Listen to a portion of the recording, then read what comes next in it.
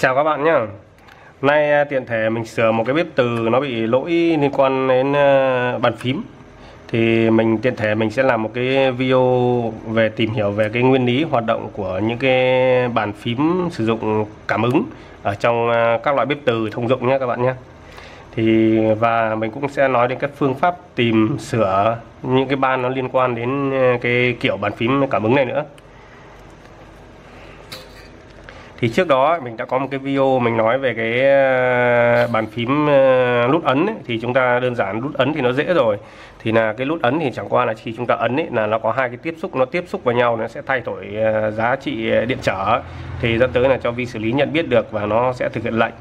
Còn với những bếp những cái phím bàn phím cảm ứng này ấy, thì nó hoạt động theo kiểu một cái nguyên lý khác hoàn toàn thì nó có về chế độ về kiểu công nghệ cảm ứng thì nó có rất nhiều kiểu khác nhau. Nhưng mà video này mình chỉ nói về cái một kiểu cảm ứng ờ, thông dụng. Đó là cảm ứng ờ, điện dung. Thì theo như mình hiểu ấy thì những cái bếp từ như thế này này là nó thực, thực hiện nó sử dụng cái công nghệ ờ, phím cảm ứng theo kiểu điện dung. Thì cái nguyên lý của nó là như thế này nhá. Thì ừ, điện dung tức là cái mỗi một cái phím bấm này nó là chúng ta cứ tưởng tượng nó là một, một cực nó là một cực à, của tu điện. Và cái cực tu điện này nó sẽ được kết nối với một chân của con con vi xử lý này. Bây giờ nó toàn thế thôi. Thì khi mà có tác động ở phím ở cái cực nào ấy, thì là con IC chân tương ứng của con IC vi xử lý đấy sẽ nhận được cái tín hiệu và nó sẽ thực hiện cái lệnh mà do uh, chương trình nó đã cài đặt như vậy. Thì và cái cái uh, bản cực này ấy, nó sẽ thường nó sẽ có một cái xung xoay chiều một cái xung xoay chiều nằm trên cái cái những cái mặt những cái cực của cái phím này. Và khi mà tay người đặt vào ấy hoặc là những cái vật kim loại đặt vào ấy thì cái lớp thủy tinh tức là lớp mặt kính ở giữa ấy, nó chính là lớp cách điện. Và khi mà tay người giả sử tay người đặt nó vào thì là khoảng cách giữa tay người tay người nó sẽ là một bản cực của tụ và cái phím ở dưới cũng là một bản cực của tụ. Dẫn tới là nó thay đổi cái chỉ số điện dung thì dẫn tới là nó uh, IC thì nó sẽ nhận biết được là cái sự thay đổi đấy và nó sẽ thực hiện cái lệnh phím đấy các bạn nhé. Nó nguyên lý của nó là như vậy như vậy. Tức là tay người và một cực của này nó khi để chạm gần nhau ấy, thì là nó sẽ tạo như là một cái một cái tụ điện, nó tạo ra một cái điện dung thay đổi. Và cái tín hiệu, tần, tín hiệu xung xoay chiều ở trên cái cái phím đấy, trên cái cái phím mà bị tay chạm vào ấy, nó sẽ thay đổi. Và như vậy vậy là con IC vi xử lý nó sẽ nhận được và nó thực hiện cái lệnh. Nguyên lý nó là như vậy. Thì các, về cái nguyên lý nó chạy như vậy thì các hư hỏng nó hay gặp ấy. Đơn giản như cái cái phím, cái cái bếp này nhá, thì nó bị hỏng như thế này đây là một cái bếp à, của Electrolux. Thì như theo mô tả của cái bạn gửi cho mình ấy, thì là khi bật nguồn lên ấy, rồi chọn chế độ lấu lẩu chẳng hạn thì sau khi sau đó mình phải ấn phím fly thì bếp nó mới hoạt động. Nhưng mà tức là khi bật lên ấy, thì chúng ta ấn phím nguồn ok này sau đó chúng ta ấn chế độ lẩu hoặc chế độ xào các thứ ok. Nhưng mà riêng cái bếp này chúng ta phải ấn phím fly nữa thì bắt đầu là nó mới chạy. Nhưng mà ấn phím fly thì nó nó không hoạt động nó không hoạt động hoặc có lúc được thì như như vậy thì à, với cái cách mô tả bệnh của bạn ấy thì mình sẽ chỉ tập trung chú ý vào cái phím fly này thôi. Và cái phím fly thôi, tức là các phím khác nó đã vẫn nhận, nó đã nhận rồi. Chỉ có cái phím fly nó không nhận. Thì chúng ta sẽ, phương pháp chúng ta sẽ dò nó như thế này. Chúng ta sẽ dò cái phím fly, đây đây chính là cái phím fly nhé các bạn nhé. Chúng ta sẽ lật lên này và chúng ta sẽ dò nó đi tới uh, chân của IC đường đi nó như thế nào và nó đi qua những con linh kiện nào và chúng ta sẽ kiểm tra những con linh kiện đấy. Thì như các bạn này mình đã mình đã kiểm tra ở cái cái vị trí của liên quan đến nó này. Đây chính là cái phím fly nhá. Nó sẽ đi tới đây và nó sẽ đi qua một con điện trở 1K này và nó đi theo đường mạch in và nó đi thẳng tới một chân của một con IC thì như vậy phím power thì nó cũng y như thế luôn nhưng mà nó sẽ đến một chân khác của con IC vi xử lý thì thông qua mỗi chân nó sẽ quản lý một phím. Thì bây giờ mình chỉ quan tâm là phím power nó ok rồi mình không quan tâm nữa. Phím chọn chức năng ok mình không quan tâm nữa. Mình chỉ quan tâm là cái bếp này nó đang à, nhận chập chờn ở cái phím fly thôi. Thì mình sẽ kiểm tra con điện trở 1K này. Và đường mạch in của nó xem nó có bị dò xỉn uh, sang cái đường nào không. Thì có dẫn tới là cái tín hiệu nó cũng bị suy ra hao hoặc bị lỗi dẫn tới là nó sẽ không nhận được.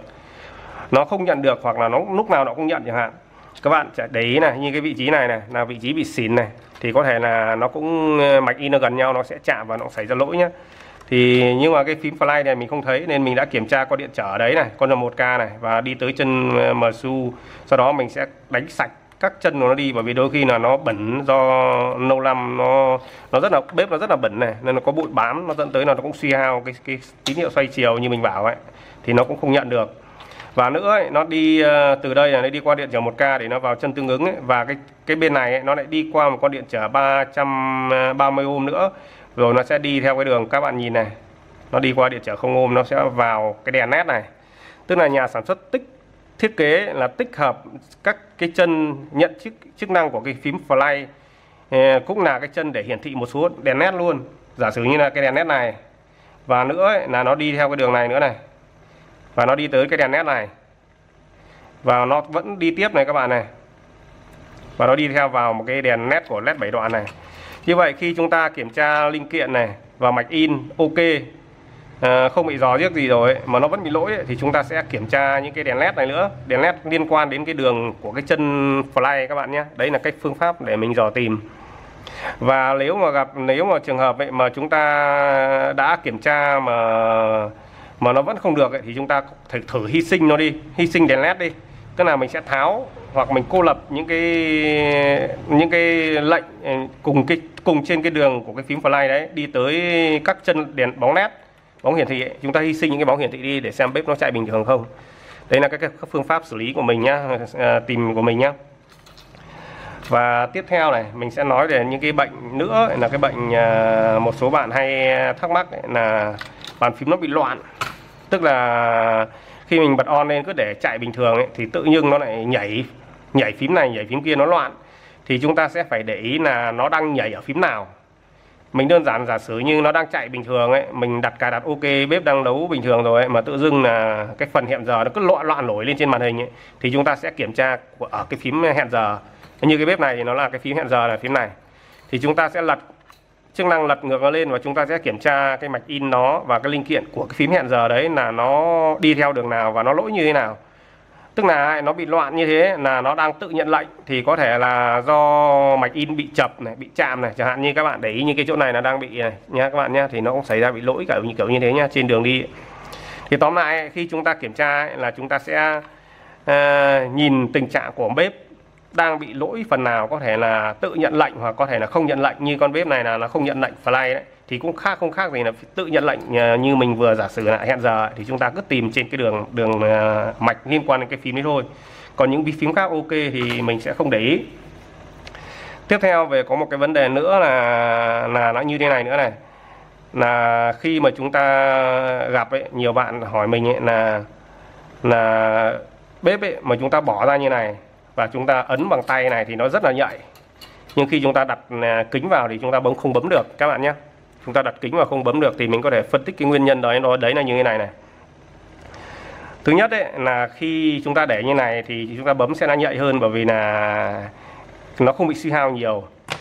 Tùy mỗi hãng nhá, mỗi nhà sản xuất nhá, họ sẽ thiết kế mạch điện tương ứng nhá để cái độ nhạy của của mạch khác nhau nhá thì giả sử như cái trên này nhá là chúng ta đặt như này ấy, thì là cái khoảng cách mặt kính với cái bản cực ở dưới này này nó bằng cái mặt kính dày bằng cái độ dày của kính và bằng là hoạt động hoàn hảo với cái chất liệu của cái kính mà nhà sản xuất đã đang à, đang sử dụng cho cái bếp này nhé như giả sử với chúng ta mà lại chuyển sang cho bếp khác chẳng hạn thì có thể là bếp khác là nó sẽ không không tương thích thì có thể nó sẽ nó sẽ không nhạy hoặc là nó bị loạn nhé như trường hợp ấy mình đã gặp một số cái bếp cảm ứng của hãng à, uh, Super nhá thì khách sử dụng lâu năm ấy là do cái bụi nó gió nó thổi nó quẩn vào bên trong này này.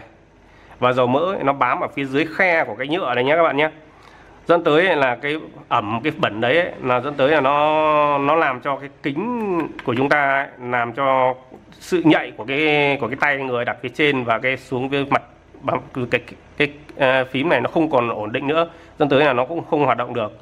Thì khi đó chúng ta sẽ phải vệ sinh sạch rửa vệ sinh sạch.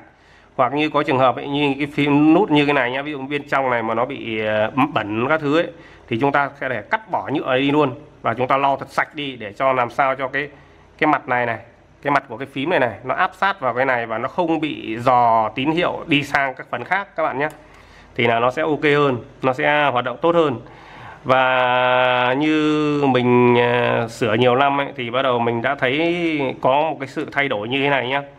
Các bạn để ý này thường là bếp mặt kính bếp từ phía bên trong này nó toàn những kia là những cái sần sần đó thôi. Nó sần sần nó không phẳng. Dẫn tới là cái mặt này nó ép vào đây nó sẽ không tạo một độ kín khít. Các bạn hiểu không? Nó sẽ tiếp xúc nhiều tiếp xúc ít thì cái đó cũng sẽ ảnh hưởng đến sự suy hao độ nhạy của bàn phím nhé thì đây như mình lấy cho bạn các bạn một cái kính khác thì nhà sản xuất họ đã tính được cái đời điều đấy.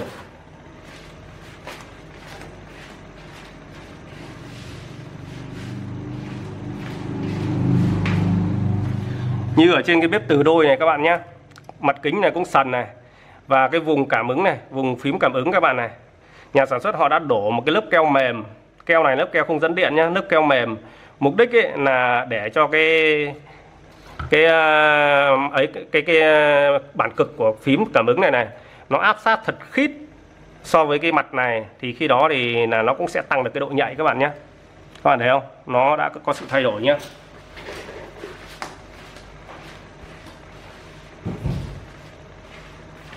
Như vậy thì qua cái đấy thì chúng ta sẽ hiểu là cái mặt này ấy, nó tiếp xúc tốt với cái cái mặt kính bên trong thì nó cũng sẽ tăng được cái độ nhạy lên còn nó, nó tiếp xúc với diện tích ít thì là nó cũng không ờ, độ nhạy sẽ giảm đi.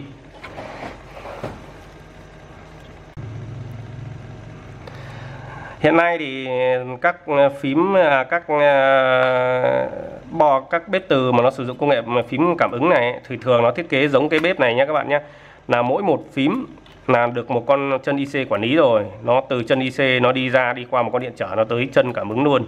Thì như mình ờ, vừa hướng dẫn mọi người dò ấy, thì khi mà chúng ta dò chúng ta đã cô lập được hết những cái vấn đề như mình nói rồi mà nó vẫn xảy ra hiện tượng không được hoặc là cũng vẫn chập chờn chẳng hạn thì chúng ta sẽ phải xác định đó là con IC này đang bị lỗi.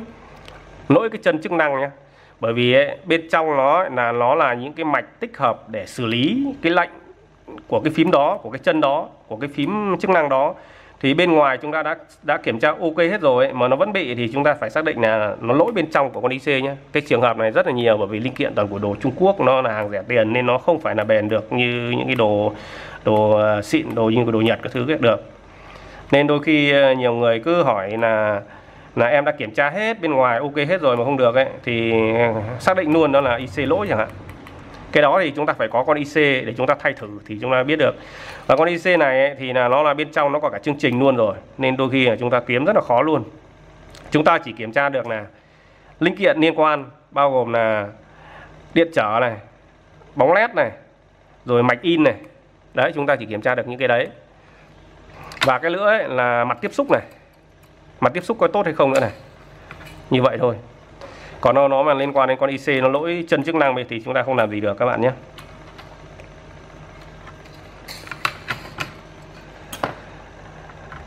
Thêm một cái vấn đề nữa này mình lắp vào nhé và mình test thử cho các bạn.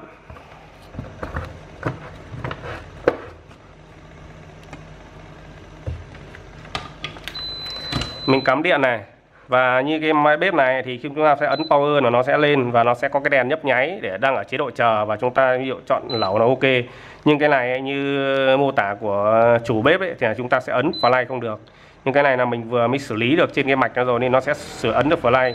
Như vậy ấy, là khi nó lỗi phím nào thì chúng ta biết nhé và giả sử nhá khi mà chúng ta cắm điện này một cái ban như này nữa này. Mình cắm điện này và đèn nó báo như này và chúng ta không bấm được phím power nhá, thì có thể nó sẽ xảy ra trường hợp như này này.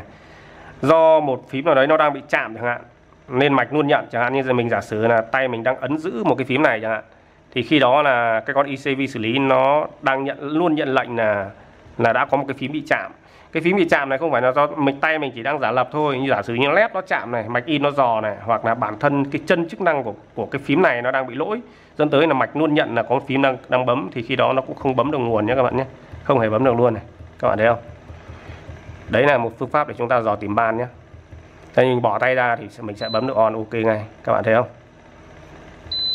Tức là nó cũng như bàn phím uh, nút ấn kìa. Mà khi mà nút bị ấn giữ luôn bị giữ hoặc bị chập ấy, thì nó cũng không cho phép mở nguồn không cho phép sử dụng cái phím nào nữa cả. Thôi video mình kết thúc ở đây nhá. Hy vọng qua cái ờ, video này chúng ta sẽ hiểu ờ, hơn về những cái uh, hiểu hơn về cái bàn phím cảm ứng trong bếp từ nhé các bạn nhé chào các bạn.